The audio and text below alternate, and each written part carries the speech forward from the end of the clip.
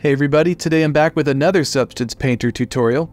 And this one's in response to a comment we got on our Marvelous Designer tutorial asking about embroidered patches, which is a great question, but I actually don't make those in Marvelous Designer. I like to make them in Substance. And for this tutorial, we're not just going to use Substance Painter, we're also going to use Substance Sampler to create the patch textures. For this project, I'm going to add some patches to our military characters that we just uploaded recently. The SWAT character, the military character, and the sheriff character already have patches, but this black uniform is meant to be sort of just a generic tactical uniform, and it has no markings, but if you want to customize it to create your own private military force or something like that, here's how you can add your own patches.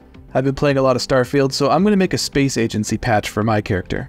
First, you want to create your patch design in Photoshop or Illustrator, and we need two things. We need a black and white image, which is the outline of the patch. You can see a black background with a white shape of the patch itself. And then another file, which is the internal design of the embroidered patch with all the different colors, but with a transparent background. And really quick, if I just paste this inside of the overall shape, you can see that my design fits within that shape. So I'm going to save these both as a PNG, and now we need to jump over into Substance Sampler. To begin, I'm going to click over here in my layers, and navigate to where you save those files. Let's open up the first one, which is just the outline of the patch. And I'm going to say import and use as bitmap. Okay, so now we have a base material, which is just the thing that creates our roughness and normal map. And then we have an image. Let's click here to add a new layer, and I'm going to search for embroidery. And you can see it's attempting to create an embroidered patch for us. Over on the right side, we can see the 2D texture, and then on the left side, we can see the 3D result. In the 3D window, uh, it's actually tiling, so I'm going to click here and I'll set my tiling back to 1 so it doesn't tile. And it also looks like it's really thick, so I'm going to go here to the displacement. I'll just turn this down to like 0.01. Okay, over here in the properties, we're still selecting the embroidery layer. I'm going to change the color count to just 1, it's just a single color. And I want to create the outline of the patch first. So where it says mode embroidery, I'm going to change this to just outline and we can adjust the outline threshold to adjust the border. We can also mess with the stitch density to change the look.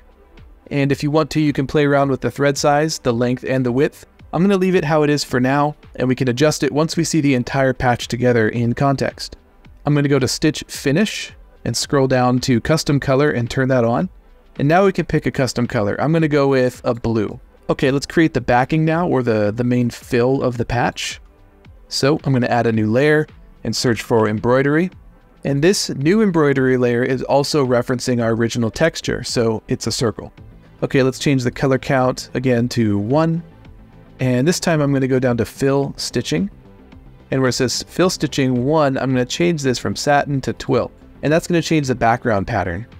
Now you can see that the fill is kind of interfering with the border, so here where it says fill thickness, I can turn this down and that's going to make it thinner and kind of push it backwards so that the border edge sticks out farther. Now if the scale of the backing stitching seems too big or too small, you can adjust the stitch density. And then let's go down to stitch finish, turn on custom color, and I can use the eyedropper to match that blue. Awesome. Okay, let's do the internal details now. I'm going to add a layer and search again for embroidery. But on this one, instead of referencing the image that's already here, I'm going to click on image and grab my details image, which has a transparent background.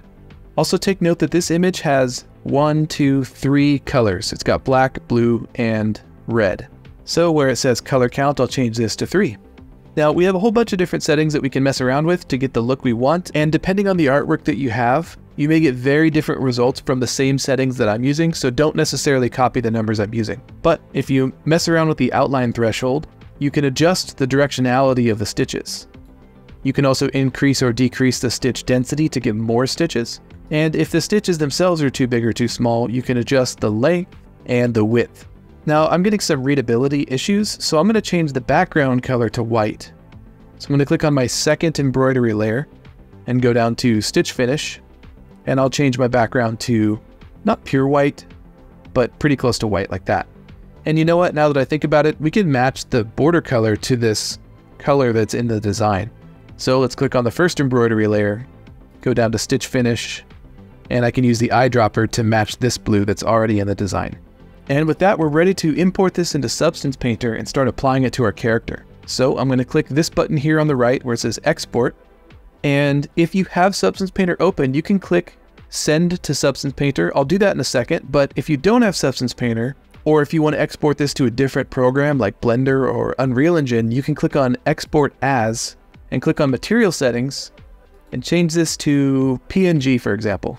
And now it's going to export all of these different textures, which you can use in any 3D program.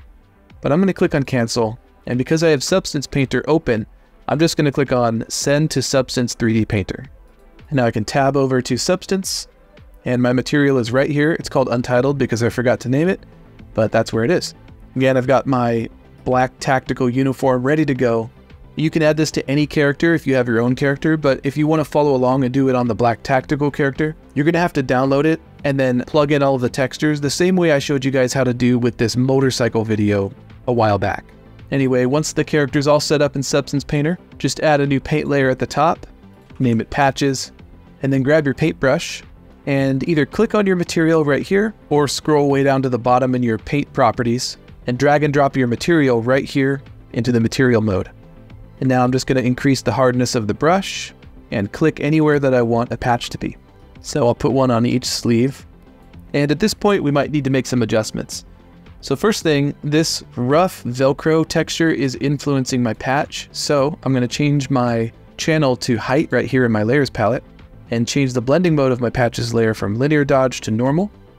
And there's probably too much contrast in the height. It's a little bit too crunchy looking. So I'm going to add a levels switch it to the height channel, and just bring this slider down to lower the contrast of my patch.